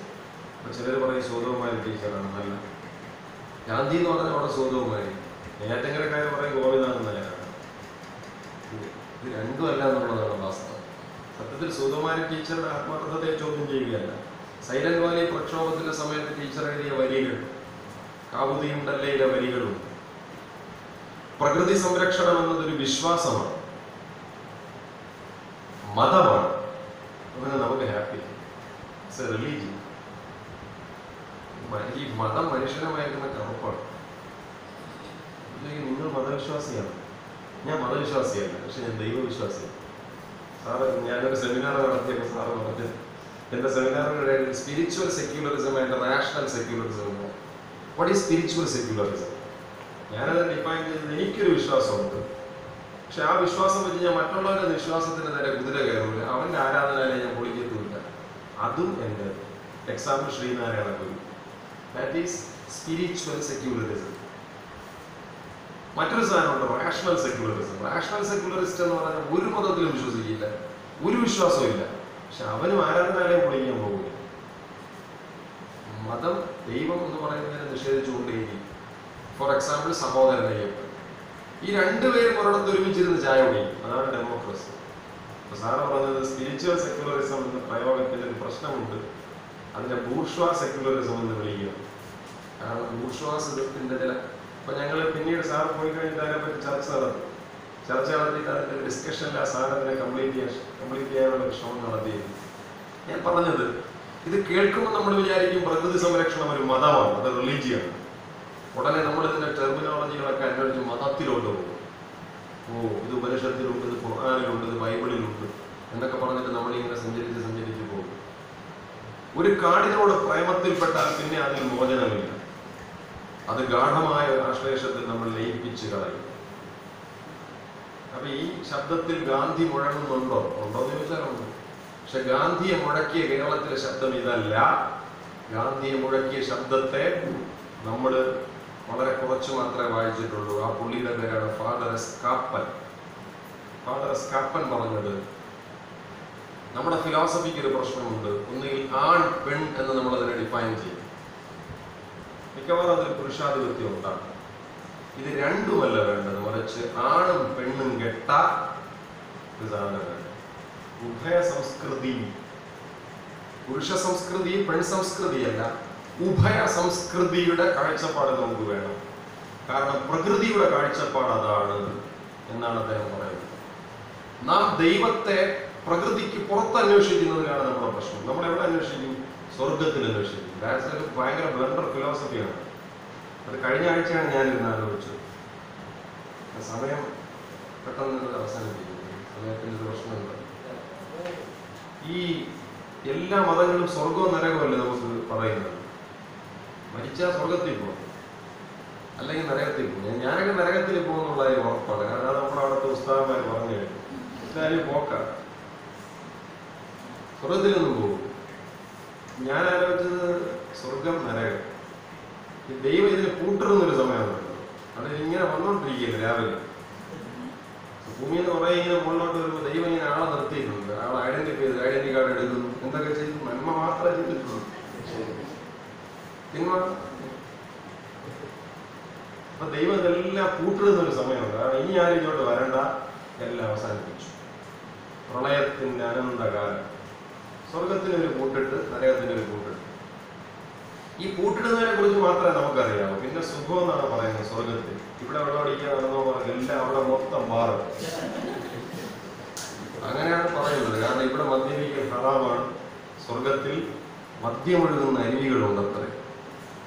അതിനുവേണ്ടി മദ്യപിക്കാതെ കടിച്ചു പിടിച്ച് ജീവിക്കുക. അവിടെ നിന്ന് അടിച്ച് പിറ്റായി ഓടെ കിടക്കുക. ഇവിടെ വ്യഭിചരിക്കരുത്. അവിടെ കൂറിൽ ഹീനുകളുണ്ട് കൂറും മക്കസൂറാത്തും ഫിൽ സത്യത്തിൽ അതിന്റെ അർത്ഥം അങ്ങനെയൊന്നുമല്ല. പിന്നെ മുലിയാക്കന്മാർ വ്യാഖ്യാനിക്കുന്നത് ഇങ്ങനെയാണ്. ഇവിടെ കടിച്ചു പിടിച്ച് ജീവിച്ചോണം അങ്ങ് ചെന്നാൽ. അത് ആരാ നോക്കിയാ പറയുന്നത്? ഉപ്പമാരെയൊക്കെ നോക്കി പറയുമ്പോൾ ഉപ്പമാർ ഇങ്ങനെ രോമാഞ്ചടിയെന്ന് ഞാൻ കണ്ടിട്ടുണ്ട് ഇതാണ് ജീവിതത്തെ കുറിച്ചിട്ടുള്ള പ്രതീക്ഷ. അങ്ങ് ചില കൂറൽ ഹീനുകൾ. പടച്ചവൻ കൂറൽ ഹീനും.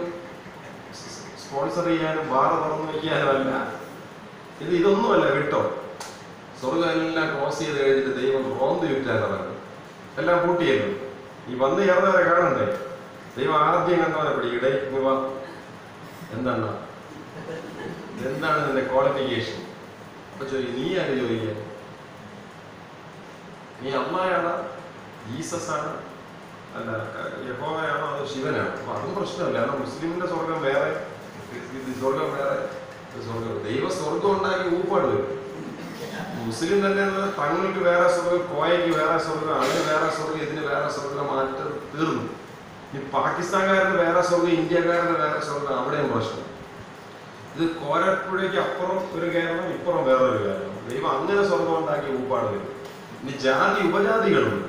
അതാണ് ദൈവം തലയ്ക്ക് വിളിച്ചിട്ട് ദൈവം ലക്ഷക്കണക്കിന് സ്വർഗങ്ങൾ ഇങ്ങനെ ഉണ്ടാക്കിയത്. പിന്നെ അതിനകത്ത് അസംഖ്യം സംഘടനകൾ കരയോഗങ്ങൾ ജമാഅത്ത് കമ്മിറ്റികൾ മഹല്ലുകൾ. തീർന്നു ഇനി വേറെ പ്രശ്നമുണ്ട്. കാരണം മരിച്ച എല്ലാവരും ചെല്ലുന്ന അൾട്ടിമേറ്റ് ദൈവത്തിന്റെ അടുത്തെന്നാണല്ലോ പറയുന്നത് അവിടെ ബോർഡ് കാണും. സ്ത്രീകൾക്ക് പ്രവേശനം. സ്ത്രീകൾക്ക് കുറച്ച് താഴെ ദൈവത്തിന് വട്ടായ ദൈവം ആടപ്പിളന്ന് നിൽക്കുമ്പോഴാണ് ഒരു തന്നെ അപ്പൊ ഇരിഞ്ഞാൽ അമ്മയാണ് അതാണ് അള്ളാണെന്ന് വെയ്യണേ ദൈവത്തിന് വേഷം മാറാൻ പറ്റുന്നില്ല ദൈവത്തെ അരൂപിയാണ് എന്താണ് അങ്ങയുടെ ക്വാളിഫിക്കേഷൻ ദൈവം ചോദിക്കുമ്പോൾ പുള്ളി പറയും ഞാൻ അഞ്ച് നേരം നിസ്കരിച്ചിട്ടുണ്ട് മുപ്പത് നോമ്പെടുത്തിട്ടുണ്ട് ഞാൻ പെർഫെക്റ്റ് ആയിരുന്നു. അപ്പൊ ദൈവം ചോദിക്കും നീ ഇവാൻ വില്യംസിന്റെ മരണം വായിച്ചിട്ടുണ്ടോ? എന്തോന്ന്? ഞാൻ വായിച്ചിട്ടില്ല. അയ്യേ ഞാനതൊന്നും വായിക്കില്ല അപ്പൊ നീ ടോൾസ്റ്റോയിന്നൊന്നും കേട്ടിട്ടില്ല? ഏ ഞാൻ പഴന്ന് കേട്ടിട്ടുണ്ട്. ആരുടെ ഭാഗത്ത് ഇപ്പൊ ഇവിടെ തുളിക്കോട് ഒരാളെ പൊക്കിയില്ലേ? ഈ മൊത്തം ഉപദേശമായിരുന്നു. പുള്ളി റബ്ബർ ഇടയിൽ ഇന്നോവയും കൊണ്ടിരുന്നു ആളുകൾ പിടിച്ചു.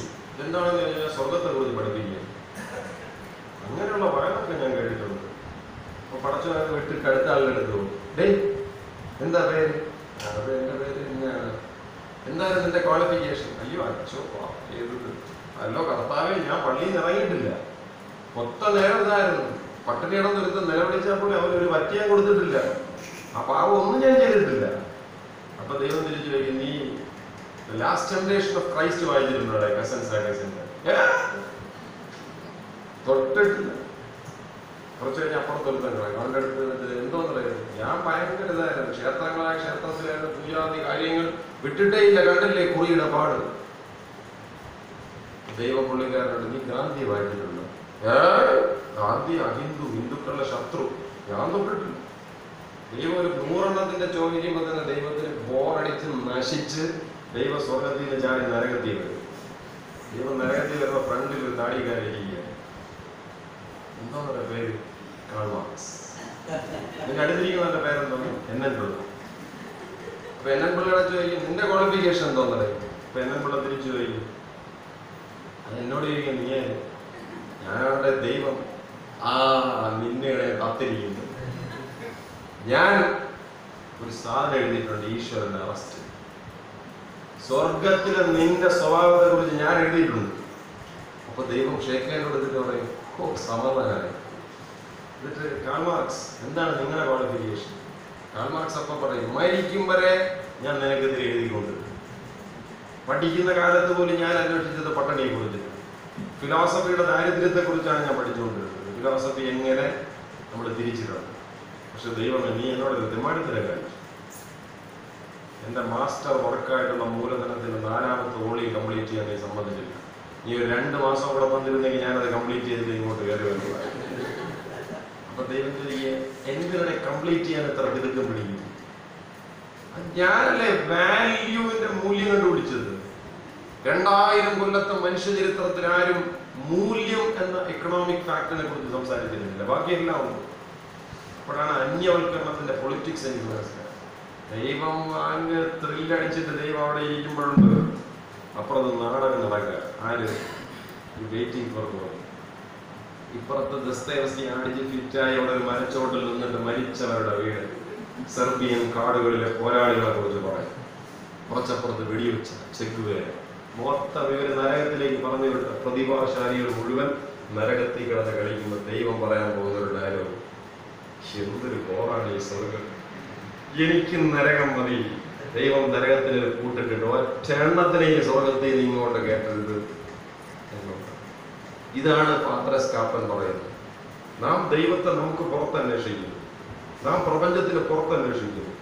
എവിടെയോ ദൈവത്തിനെ ഇരുത്തിയിട്ട് നാം ആ സ്നേഹത്തിന് വേണ്ടിയിട്ട് ഓടിക്കൊണ്ടേയിരിക്കും ദൈവം ചിലപ്പോൾ വിമർശനവുമാണ് സുഹൃത്തെ. അതുകൊണ്ട് ഞാൻ പരസ്യമായിട്ട് പ്രസംഗിച്ചിട്ടുണ്ട് ഒരു ദിവസം എന്റെ ജീവിത പങ്കാളി എന്നോട് ചോദിച്ചു ഇക്ക എന്താണ് ഇക്ക ഇക്ക സ്വർഗത്തിൽ പോകുമ്പോൾ ഞാൻ പറഞ്ഞിട്ട് സ്വർഗത്തിലൊന്നും പോകില്ല പോകുമ്പോൾ ശരി പോകുമ്പോൾ അല്ല ഇക്ക സ്വർഗത്തിൽ പോകുമ്പോഴേ ഇക്കാടെ ഭാര്യയായിട്ട് എന്നെ തന്നെ ആഗ്രഹിക്കും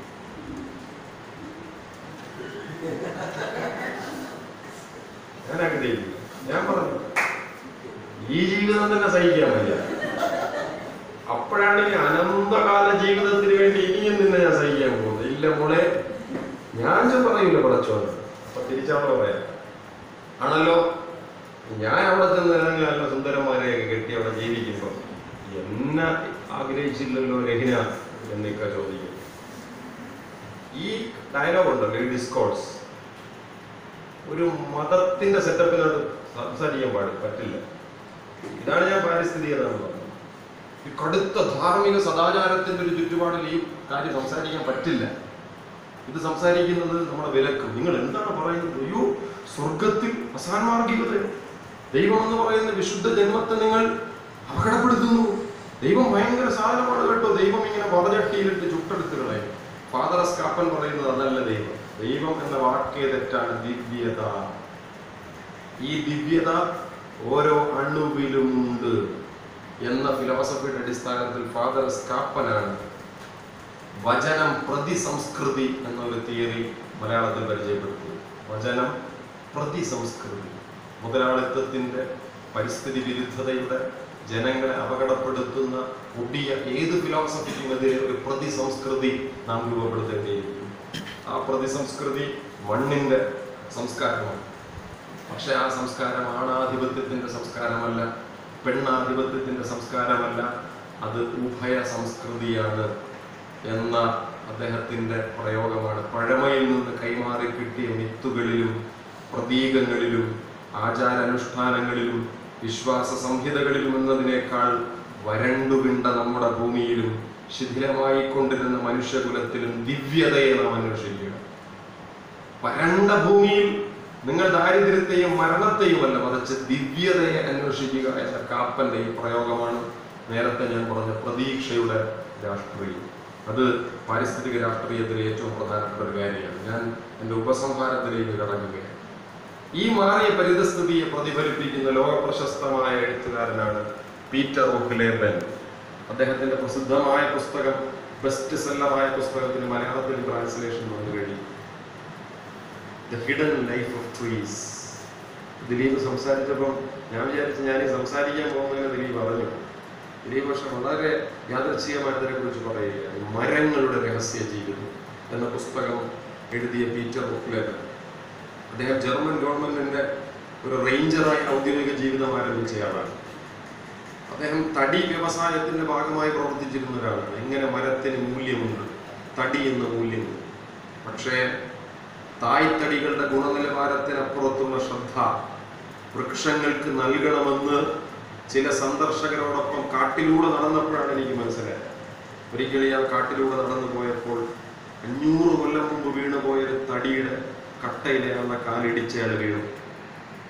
കട്ടയുടെ നേരെ രോഷത്തോടു കൂടി നോക്കിയപ്പോഴാണ് ഒരു കാര്യം മനസ്സിലായത് ആ തടിയിൽ പായലുകളിരിക്കും ഈ പായലുകൾ അയാൾ കൈകൾ കൊണ്ട് ചുരണ്ടി ചുരണ്ടിയപ്പോൾ ഇയാൾക്ക് മനസ്സിലായി ഈ തടിയുടെ പുറത്ത് ജീവനില്ലെങ്കിലും ഈ തടിയുടെ ഉള്ളിൽ ജീവന്റെ അംശമുണ്ട് ആ തടിക്ക് ജീവനുണ്ട്. അഞ്ഞൂറ് കൊല്ലം മുമ്പ് വീണുപോയ ആ തടിക്ക് ജീവനുണ്ട്. ജീവനെ നിലനിർത്തുന്ന പ്രകൃതിയുടെ ആ കെമിസ്ട്രിയെ കുറിച്ച് അന്വേഷിച്ച് അന്വേഷിച്ച് പോയ പൊക്ലേബൻ മരങ്ങളെ ശ്രദ്ധിക്കാൻ ആരംഭിച്ചു. അപ്പോഴാണ് അയാൾക്ക് മനസ്സിലായത് ദൈവമേ മനുഷ്യനേക്കാൾ പ്രതിഭാശാലികളാണ് മരങ്ങൾ അതിൽ ഒന്ന് രണ്ട് സാധനം മാത്രം ഞാൻ ഇവിടെ പറയാം അതിലെനിക്ക് ഏറ്റവും ഇഷ്ടപ്പെട്ട സാധനമാണ് കാട്ടിലെ മരങ്ങൾക്ക് കാട്ടിലെ ഒറ്റപ്പെട്ട മരങ്ങളെക്കാൾ ആയുസ് ഉണ്ട് എന്ന് അയാൾ അറിയാം കാട്ടിൽ മരങ്ങൾ കൂട്ടത്തോടെ ജീവിക്കും. കാട്ടിൽ അത് ഒറ്റപ്പെട്ട് ജീവിക്കും. കാട്ടിൽ തന്റെ കൊച്ചച്ഛൻ വലിയച്ഛൻ മാമൻ മച്ചമ്പി മാമി ചിന്നമ്മ മുതലായ ബന്ധുക്കളോടൊപ്പം താമസിക്കുന്ന മരങ്ങൾ എന്ത് സന്തോഷമാണ് ഈ മരങ്ങളുടെ കുഞ്ഞു മരങ്ങൾ ഈ തായ് മടിയ മടി മരത്തിന്റെ താഴെയാണല്ലോ മുളയ്ക്കുക അപ്പൊ ഈ കുഞ്ഞു മരം ഇങ്ങനെ മുളഞ്ഞു മുളച്ചു വരുമ്പോൾ തായ് മരം കുഞ്ഞു മരത്തിന് സൂര്യപ്രകാശം കിട്ടാതെ തടയും അത് വായിച്ചപ്പോൾ എനിക്ക് തായ് മരത്തോട് ദേഷ്യം. ഇതൊരു ദുഷ്ടയാണ് ഈ മരം. തനിക്ക് വളരാനുള്ള പോഷകം ഈ കുഞ്ഞെടുക്കുമെന്ന് പേടിച്ചിട്ട് മരത്തിനെ വളർത്താതിരിക്കുകയാണ്. മുകളിലേക്ക് വീഴുന്ന സൂര്യപ്രകാശത്തിന്റെ ഇരുപത് ശതമാനം മാത്രം ഈ തള്ള താഴോട്ട് എത്തിച്ചു കൊടുക്കും. അതിനുവേണ്ടി ഇതിന്റെ ചില്ലകൾ കൊണ്ട് ഇതിനെ മറയ്ക്കും. ഈ പാവം കുഞ്ഞു ചെടി കിട്ടുന്ന കുറച്ച് വെളിച്ചം മാത്രം കൊണ്ട് ഫോട്ടോസിന്തസിസ് നടത്തി ഇങ്ങനെ മെല്ലെ മെല്ലെ മെല്ലെ മെല്ലെ മെല്ലെ മെല്ലെ വളർന്നു. പക്ഷെ പിന്നീടാണ് പിന്നെ അതിന്റെ രഹസ്യം പറയുന്നത്. ഇത് തള്ളയ്ക്ക് കുഞ്ഞിനോടുള്ള ദേഷ്യമല്ല. മറിച്ച് കുഞ്ഞിന് അമ്മ ദീർഘായുസ് കൊടുക്കുകയാണ്. അങ്ങനെ വളരുന്ന കുഞ്ഞിനെ പത്ത് തൊള്ളായിരം വർഷം ജീവിക്കും. തള്ളയ്ക്കറിയാൻ കുറച്ച് കഴിയുമ്പോൾ ഞാൻ വീട് പോകുന്നു. എന്റെ വീഴ്ചയുടെ മണ്ണിൽ നിന്ന് എന്റെ കുഞ്ഞ് ഉയർന്നുയർന്നുയർന്ന് ഉയർന്ന് എന്നെക്കാൾ കാലം ജീവിക്കണമെന്ന തള്ളയുടെ ആഗ്രഹമാണ് മരത്തിന്റെ ഈ ഫിലോസഫി ഇതിവിടെ പറയാൻ കാരണം എന്താണെന്ന് അറിയാമോ നമ്മുടെ ടെലിവിഷനിൽ ഒരു പരസ്യമുണ്ട്. നിങ്ങളുടെ കുഞ്ഞിന് വളർച്ചയില്ലല്ലേ ഈ പൗഡർ വാങ്ങി കൊടുക്കൂ രണ്ടാഴ്ചക്കുള്ളിൽ മൂന്നിഞ്ച് പൊങ്ങും. അപ്പൊ ഒരു മാസം പൗഡർ കഴിച്ചാൽ ഒരു രണ്ടടി പൊങ്ങും. അങ്ങനെ പൊങ്ങില്ല എന്നുള്ളത് നമുക്കറിയാവുന്ന വാസ്തവമാണ്. പക്ഷെ അങ്ങനെ പൊങ്ങിയാൽ പത്ത് കൊല്ലത്തിനപ്പുറം പൊങ്ങി ജീവിക്കും. കൊച്ചിനെ പതുക്കെ വളർന്നതാണ് അതുകൊണ്ടാണ് പണ്ടത്തെ തന്റെ നല്ല പൈസ ഉണ്ടെങ്കിലും വർഷത്തിൽ ഒരു തുണി. വീട്ടിൽ പത്തായം നിറച്ചരി ഉണ്ടെങ്കിൽ അത്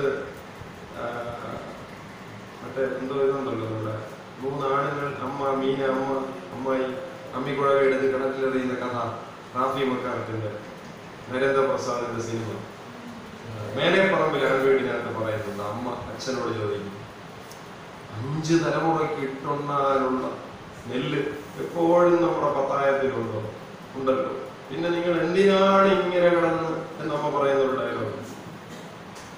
എന്റെ പത്തായത്തിൽ അഞ്ച് തലമുറയ്ക്കുള്ളിൽ ഇട്ടിട്ട് ഇട്ടുണ്ടാനുള്ള നെല്ലുണ്ടെന്നും പറഞ്ഞ് തണ്ട നാളെ മുതൽ ഈ നെല്ലെല്ലാം കൂടെ എടുത്ത് മക്കളെ ഊട്ടാൻ തുടങ്ങി മക്കൾ കഴിയണ. മക്കൾ നിങ്ങളാന്ന് പറഞ്ഞാൽ മക്കൾ പാഴ് നെല്ലായി പോകുമെന്ന് തന്തയ്ക്കറിയാം തന്നയ്ക്കും അറിയാം. ഈ ഫിലോസഫി മരത്തിന്റെ ജീവിതത്തിൽ നിന്ന് മുഗ്ലബൻ പഠിച്ച് പുറത്തെടുക്കുക. എന്റെ മുഗ്ലബൻ പറയുന്ന വേറൊരു കാര്യമുണ്ട്. മരങ്ങൾക്ക് കമ്മ്യൂണിക്കേഷൻ ഉണ്ട്. ആഫ്രിക്കൻ മരുഭൂമികളിലെ താഴ്വരകളിലെ ചില മരങ്ങളുണ്ട്. ഈ മരങ്ങളാണ് ജിറാഫിന് ഏറ്റവും ഇഷ്ടപ്പെട്ട വൃക്ഷം. ജിറാഫ് ഇതിനെ കടിക്കുമ്പോൾ തന്നെ വൃക്ഷം വേദനിക്കാറുണ്ട്. ഈ വേദനയിൽ നിന്ന് വൃക്ഷം ഒരു പ്രതികരണം പുറത്തുവിടും ഒരു ടോക്സിക് വാതകം പുറത്തുവിടും ഈ വാതകം ജിറാഫിന് ഇഷ്ടമല്ല. ഇതെപ്പോൾ പുറത്തുവിടും അപ്പൊ ജിറാഫ് നിലവിടും ഈ വാതകം പുറത്തുവിടുന്നത് സ്വരക്ഷയ്ക്ക് വേണ്ടി മാത്രമല്ല മറിച്ച് ഇതാ അപകടം വരുന്നു എന്ന് തൊട്ടടുത്ത മരത്തിനെ അറിയിക്കാൻ വേണ്ടി കൂടിയാണ്. അപ്പോഴേക്കും അടുത്ത മരം ഇത് പുറത്തുവിടും. പക്ഷെ ജിറാഫ് അതിലും വലിയ ബുദ്ധിയുള്ള ജീവിയാണ് അത് ഒരു മരത്തിൽ ഈ ടോക്സിക് സാധനം പുറത്തു വന്നാൽ പിന്നെ നൂറ്റമ്പത് അടി അപ്പുറത്തുള്ള മരത്തിനെ പോയി കടിക്കും. അത് മരത്തേക്കാൾ തലച്ചോറിന് വളർച്ചയുണ്ട് അങ്ങനെ അനേകം രഹസ്യ വിവരങ്ങൾ കൊണ്ട് മരങ്ങളുടെ ജീവിതത്തെ പുറത്തുവിട്ട മുഹ്ലബെനിന്റെ പ്രസിദ്ധമായ രണ്ട് മൂന്ന് പുസ്തകങ്ങൾ കൂടിയുണ്ട്. ഇന്നർ ലൈഫ് ഓഫ് അനിമൽസ് ഈ മൃഗങ്ങളുടെ അന്തരജീവിതം എന്ന പുസ്തകം. അതുപോലെ തന്നെ the secret network of nature ഭൂമിയുടെ രഹസ്യ ക്രമം ഈ പുസ്തകത്തിൽ രസകരമായ ഒരു പ്രയോഗം മുഗ്ലബൻ നട- നടത്തുന്നുണ്ട്. ഡെലിക്കേറ്റ് ഇക്ലിബ്രിയം ഈ പരിസ്ഥിതിക്ക് ഒരു ഇക്ലിബ്രിയം ഉണ്ട്. അത് ഉറുമ്പുകളെ പഠിച്ചിട്ടാണ് മുഗ്ലബൻ പഠിച്ചെടുക്കുന്നത് ഈ സൂക്ഷ്മമായ സമതുലനം എന്ന ഈ പ്രയോഗം വെച്ചിട്ട് ആണ് ഞാൻ ശ്രീനാരായണ ഗുരുവിനെ പഠിച്ചത്. ശ്രീനാരായണ ഗുരു ഒരിക്കൽ സഹോദരൻ അയ്യപ്പന് കൊടുത്ത ഉപദേശത്തിൽ ഇങ്ങനെ പറയുന്നുണ്ട് സഹോദര അയ്യപ്പ മനുഷ്യൻ എന്ന ഈ ജീവി ഭൂമിയിലില്ലായിരുന്നുവെങ്കിൽ സകല ജീവജാലങ്ങൾക്കും പ്രകൃതി അവയ്ക്ക് നൽകിയ ശാന്തി അനുഭവിക്കാൻ കഴിയുമായിരുന്നു. എന്ന ഗുരുവിന്റെ പറച്ചിലിന്റെ ഉള്ളിലുള്ളത് ഉക്ലകൻ പറയുന്ന ഈ ഫിലോസഫി പരിസ്ഥിതിയുടെ ശാസ്ത്രം എന്നത് ഇത്തരത്തിൽ മാറിക്കഴിഞ്ഞിരിക്കുന്നു. മനുഷ്യ കേന്ദ്രിതമായ പഴയ പരിസ്ഥിതിവാദത്തിൽ നിന്ന് ഭൂമിയിലെ ഏത് സൂക്ഷ്മജീവിയിലും പരിസ്ഥിതിയുണ്ട് എന്ന തരത്തിലേക്ക് മാറിയിരിക്കുന്നു. അങ്ങനെ വിപ്ലവകരമായി മാറി മാറിയിരിക്കുന്ന മറ്റൊരു പുസ്തകമാണ് the octopus and the evolution of intelligent life നമ്മുടെ കോൺഷ്യസ്നെസ് ഉണ്ടല്ലോ ബോധം. ഈ ബോധത്തിന്റെ ചരിത്രം അന്വേഷിച്ച് നമ്മൾ ആദിമ മനുഷ്യനിലേക്ക് മാത്രം പോയാൽ പോലെ മറിച്ച് ജീവജാലങ്ങളിലേക്ക് പോകണം ഭൂമി മുഴുവൻ കറങ്ങാൻ ഇറങ്ങും ചിലപ്പോൾ നീലത്തിനിങ്ങനെ. കറങ്ങിയിട്ട് കൃത്യം അതിന്റെ വീട്ടിൽ തിരിച്ചു വരും. ഏത് ചരിത്രബോധത്തിൽ നിന്നാണ് നീലത്തിമിങ്ങനെ ഇങ്ങനെ കറങ്ങി അതിന്റെ വീട്ടിലേക്ക് തിരിച്ചു വരുന്നത്? ഒരു ദേശാടന പക്ഷി മുട്ടയിടാൻ വേണ്ടി മൂവായിരം കിലോമീറ്റർ അപ്പുറത്ത് പോകും. മുട്ടയിട്ട് വിരിച്ച കുഞ്ഞുമായി പക്ഷി തിരിച്ചു പറക്കുമ്പോൾ ആദ്യം പറക്കുന്നത് തള്ളയുടെ കുഞ്ഞാണ്. കുഞ്ഞിനറിയാം തള്ള പറന്നു വന്ന വഴി. അത് തള്ള ട്യൂഷൻ ക്ലാസ് കൊടുത്തിട്ടല്ല കുഞ്ഞിന്റെ ജീവബോധത്തിനുള്ളിൽ ഈ ചരിത്രം കിടക്കുന്നു. അത്ര സൂക്ഷ്മതയോടുകൂടി പഠിക്കുന്ന ഈ പുസ്തകത്തിലെ പഠിക്കാനെടുത്തിരിക്കുന്ന ജീവി നീരാളിയാണ് ഞാൻ അവസാനിപ്പിക്കുന്നത് ഒരു ഒരു സമുദ്ര ഗവേഷകൻ വെള്ളത്തിൽ ചാടി. അയാൾ വെള്ളത്തിൽ ചാടി നീന്തിക്കൊണ്ടിരിക്കെ ഒരു നീരാളി വന്ന് അയാൾ മുത്തം കൊടുത്തു. അപ്പൊ ആദ്യം അസ്വസ്ഥത തോന്നി രണ്ടാമത് ഇക്കിളി തോന്നി മൂന്നാമത് അയാൾ മോനെ ഇക്കിളി ഇടപാന്ന് പറഞ്ഞു ഇങ്ങനെ ഇക്കിളി ഇട്ടുകൊണ്ടിരുന്നപ്പോഴാണ് ഇയാൾക്ക് തോന്നിയത് എന്തിനാണ് നീരാളിന്റെ ഇങ്ങനെ ഇക്കിളി ഇടുന്നത്? അതിനെന്തോ എന്നോട് പറയാനുണ്ട്.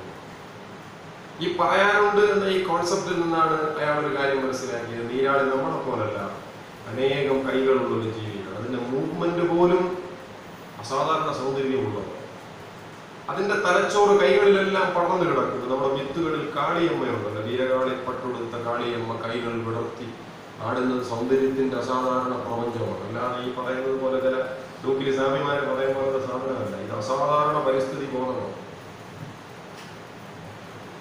ഈ നീരാളി മനുഷ്യരെന്ന തന്നെ പിൽക്കാല ജീവിയെ സ്പർശിക്കുകയാണ്. പച്ചമ്പി ഇത് ഞാനാണ്. നമ്മൾ കുരങ്ങം വരെയുള്ള പരിണാമത്തെ കുറിച്ചല്ലേ പഠിച്ചിട്ടുള്ളൂ പക്ഷേ പീറ്റർ ഗോഡ്ഫ്രൈ സ്മിത്ത് പറയുന്നത് കുരങ്ങനപ്പുറത്ത് ആറ് തലമുറ മുമ്പുള്ള നമ്മുടെ പരിണാമത്തിന്റെ സൂക്ഷ്മ ജീവിതം കിടക്കുന്നത് നീരാളിയിലാണ്. അതുകൊണ്ട് നീരാളിയെ ചൂടിച്ചേ മതിയാണ്. അത്തരത്തിൽ ഉണ്മയും സത്യവും തമ്മിലുള്ള ബോധത്തെ അസാധാരണമായി പൊളിച്ചു പണിയുന്ന ഒരു സൗന്ദര്യശാസ്ത്ര തലത്തിലേക്ക് ലോകം പ്രവേശിച്ചിരിക്കുന്നു. ലോകം പ്രവേശിക്കുമ്പോഴാണ് നമ്മുടെ നാട്ടിൽ നിന്നുമല്ല വിഷയം. ശബരിമല കേരളം വേണ്ട പള്ളിയിൽ കയറണോ വേണ്ട മുതലായിട്ടുള്ള പ്രശ്നങ്ങളിലേക്ക് ചെന്ന് വീഴും. ഇത് കണ്ടോ? ഇത് രണ്ട് ആധാർ കാർഡാണ് രണ്ട് Aadhaar card. Unique identification authority of India. അവരാണ് ആധാർ തരുന്നത്. അവരുടെ കണക്കനുസരിച്ച് ഇതിനോടകം നൂറ്റി പതിനൊന്ന് കോടി ആധാർ ഇന്ത്യയിൽ കൊടുത്തു കഴിഞ്ഞു. നൂറ്റി പതിനൊന്ന് കോടി ആധാർ ഇന്ത്യയിൽ കൊടുത്തു എന്ന് പറഞ്ഞാൽ നമ്മുടെ വീട്ടിൽ എല്ലാവർക്കും ആധാർ കിട്ടണം. കാരണം എന്തുണ്ടെങ്കിലും ക്യൂ നിന്ന് എടുക്കുന്ന സ്ഥലമാണ് കേരളം. കേരളം അതിലൊട്ടും പറഞ്ഞു ഇപ്പോഴും എന്റെ വീട്ടിൽ മൂന്ന് ആധാർ കിട്ടിയിട്ടില്ല. കിട്ടിയിട്ടില്ല. പക്ഷെ നൂറ്റി പതിനൊന്ന് കോടി ആധാർ കൊടുത്തു കഴിഞ്ഞു. ഈ നൂറ്റി പതിനൊന്ന് കോടി ആധാറുകളിൽ രണ്ട് ആധാറിന്റെ ഫോട്ടോ ഏതായിരിക്കുന്നത് സാറ്? അതിൽ ആദ്യത്തെ ആധാറിലെ ജീവി ആരെന്നറിയാമോ? ടോമി സിംഗ് മധ്യപ്രദേശിലെ ഒരു പട്ടിയെ ഒരു മനുഷ്യൻ എങ്ങനെ പട്ടിക്കെടുത്ത ആളാണ് സാറ് ടോമി സിംഗ് രണ്ടാമത്തെ ആധാർ ആരുടെ അറിയാമോ? ടു സീറോ വേണമെങ്കിൽ എഴുതി വെച്ചോ. Two zero nine four seven zero five one nine five four one ഹനുമാന്റെ ആളാണ്. അമ്മയുടെ സത്യം ഇത് കള്ളമല്ല. കണ്ടോ? ഹനുമാൻ. പേരെന്താ? ഹനുമാൻ ജി അച്ഛന്റെ പേര് പവൻജി. ഡേറ്റ് ഓഫ് ബർത്ത് ഒന്ന് ഒന്ന് ആയിരത്തി തൊള്ളായിരത്തി അമ്പത്തി ഒമ്പത്. കണ്ടോ? പവൻജി. ഇത് ഉത്തർപ്രദേശിൽ നിന്നാണ് ഇറങ്ങിയിരിക്കുന്നു. ഉത്തർപ്രദേശിലെ ഒരു ഭയങ്കര രാഷ്ട്രീയ നേതാവ് പറഞ്ഞതാണ്. അദ്ദേഹം ഞങ്ങളുടെ സമുദായത്തിൽപ്പെട്ടാണ് ഇത് കേട്ടോണ്ടെന്ന് ഒരു മൊയിലിയാർക്ക് സഹിച്ചില്ല. അങ്ങനെ പള്ളിയിൽ എന്ന് പറഞ്ഞു അനാവശ്യം പറയരുത് ഹനുമാൻ മുസ്ലിമാണ്. കാരണം റഹ്മാൻ സുലൈമാൻ. മുതലായ- മാനുകളുള്ള പേരുകൾ മുസ്ലിം ഹനുമാൻ. ഇതൊക്കെ ഏത് പുസ്തകത്തിലാണ് India India social. Indian social life ഇത്രമേൽ അസംബന്ധം നിറഞ്ഞതായി മാറിയിരിക്കുന്നു. പക്ഷേ ലോകത്തിന്റെ സാമൂഹിക ജീവിതം അസാധാരണമായി സൂക്ഷ്മമായിരിക്കുന്നു. ഇതാണ് ഇവിടുത്തെ വൈരുദ്ധ്യം. കോൺട്രഡിക്ഷൻ ഈ കോൺട്രഡിക്ഷനെ അവസാനിപ്പിക്കുക എന്നുള്ളതാണ് ബുദ്ധി തലയിലുള്ളവരുടെ ഉത്തരവാദിത്വം അതാണ് പരിസ്ഥിതിയുടെ രാഷ്ട്രീയം. പരിസ്ഥിതി നമ്മളെ ഒരമ്മ പെറ്റ മക്കളായി കാണും. പരിസ്ഥിതിക്ക് ജാതിയില്ല പരിസ്ഥിതിക്ക് മതമില്ല. ഞാൻ എന്റെ വർത്തമാനം അവസാനിപ്പിക്കുന്നു. നമസ്കാരം.